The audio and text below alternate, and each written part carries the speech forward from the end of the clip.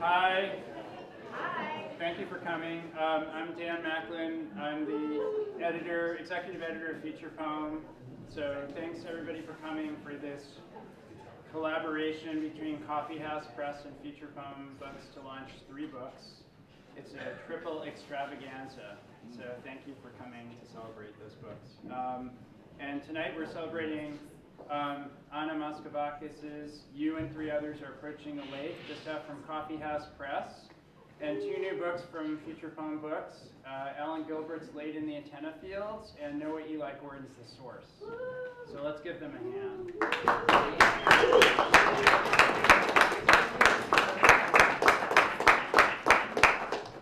Um, we're going to have all three of them read, um, but I just want to uh, I want to give a few thank yous uh, to some people who made the books and the event possible. Um, first of all, I want to thank Pierogi, this wonderful space that we're in. So please, everybody, give them a round of applause.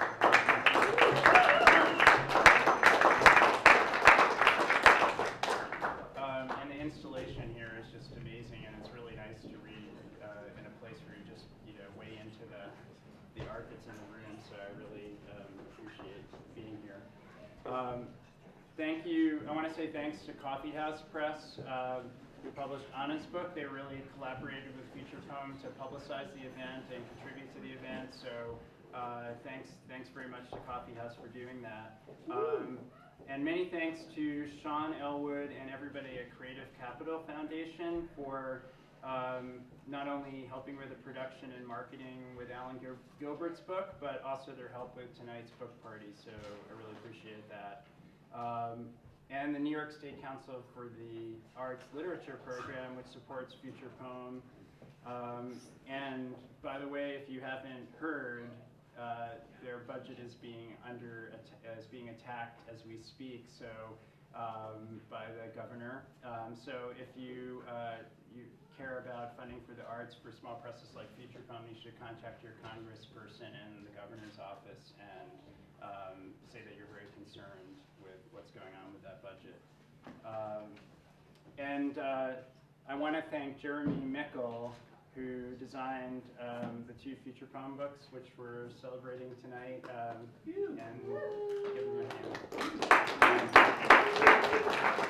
hand. Uh, he is not here. He is the mystery, mysterious man behind the curtain in Providence, Rhode Island. Um, and uh, Mary Speaker is here with us tonight. Where's Mary?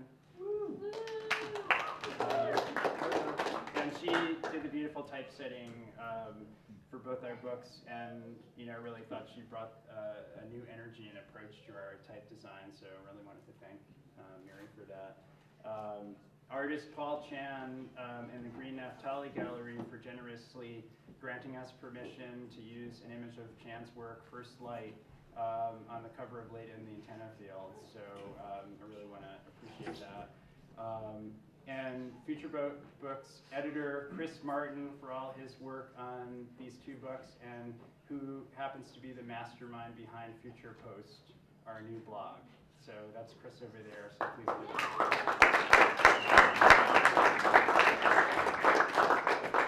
um, This is like a revival with all this clapping. um, um, yeah, I would like to thank Futurepoem's guest editors that helped select Noah Eli Gordon's book, Eileen Myles, who, who's here tonight, Bob Perelman, and Kim Rosenfield, who I don't know if I've gotten here yet, but I wanted to thank um, them all for their tireless effort and dedication. Um, and Futurepoem's amazing board of directors, Jeremy Sigler, Monica de la Torre, and Jay Sanders. Um, Futurepoem's managing editor, our first managing editor, uh, Jennifer Tamayo, uh, who's JT, aka JT, who's, who's here with us tonight. And, and just to run through other, a few other folks who we couldn't have done this without, Francis Gonzalez, Serena Yost, uh, um, Sean, I'm sorry, Sean, I don't know. What? Sean Kane. Kane. Wendy Weitzel, Marie Le Claire for documenting tonight's event. Um, Anna Moschovakis for her awesome card design promoting this event, and all the other folks who made this possible, so thank you. Um, I'm going to introduce Noah now. Um, Noah's going to be the first to read. I just want to say a few words about um, his book. First of all, I'm really pleased that uh, Noah braved the snow to fly in from Colorado and make it to our book party, so thank you for doing that. Uh, Noah's book, The Source, was selected during Futurepoem's recent open reading period with the help of, again, Eileen Myles, Bob Perelman, Kim Rosenfield, and myself. Um, I'm extremely pleased that Noah chose uh, Future Poem to send his self-declared investigation and constrained bibliomancy and ambient research.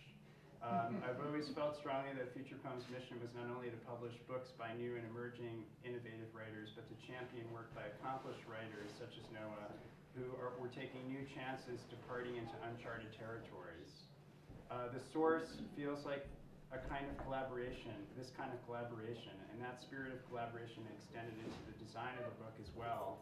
Um, and if you've seen it, it's quite different than a lot of other poetry books out there.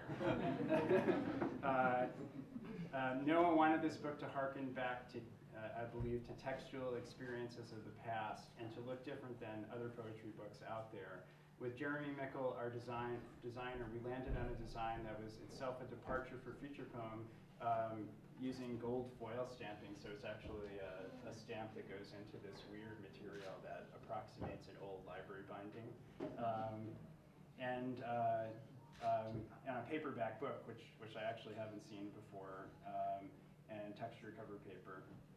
Um, I hope you'll find the, you know, I hope you'll find the source of reading experience in its final form as alluring um, you know, as the, as the book that the editorial panel and myself found, you know, is um, pretty amazing reading experience. So with that, welcome Noah.